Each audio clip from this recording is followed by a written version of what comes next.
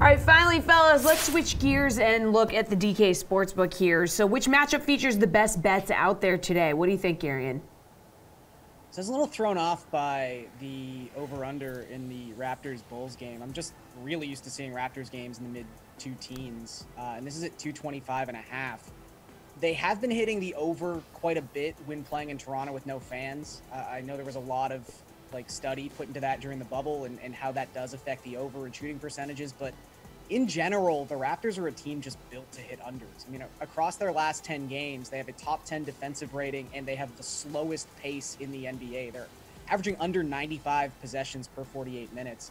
The Bulls are a talented offensive team. Their defense has been leaky the last couple weeks, but I still think this is a really big number for a Raptors game. So I'm just going to take the under considering it's hit nine of their last 13 contests.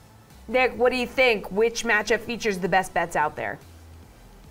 Yeah, I like the under in the Lakers Clippers game. 219 and a half is the number there. We'll see if that moves throughout the day. Uh, and I also like the Suns to cover four and a half at Atlanta. Uh, what, really, whether Trae Young plays or not, you know, that probably affects the line. But I think I would take Phoenix no matter what. Atlanta just 13 and 13 against the spread at home. They're 7 and 13 against the spread as an underdog, just 1 and 3 against the spread as a excuse me, home underdog this season. Meanwhile, Phoenix 15 and 8 against the spread on the road and 12 and 6 against the spread as a road favorite. So a lot of reasons to think that the Suns keep it rolling. All right, what do you think, Matt?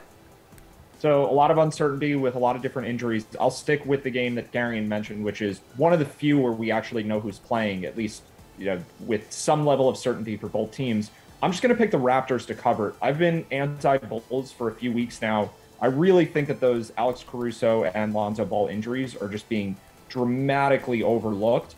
And if this Bulls team had to play a full season without those two guys, I don't think they even get in the playoffs. Like this is a team that can look really good on an on you know a once in a while basis because they do have the high volume shooters and LaVine and DeRozan can get hot in any given game. But overall, this is not that efficient of an offense. It's an okay one, and it's a really bad defense. And I think the Raptors are a good team. So even though they don't have any fans out there to cheer them on. Uh, the Bulls still do have to travel to Toronto to play there. Maybe that's where Toronto's getting their home court advantage from, just because people have to fly to Canada. So I still like the Raptors to cover. It's up to minus three and a half, but I think it should be a lot higher.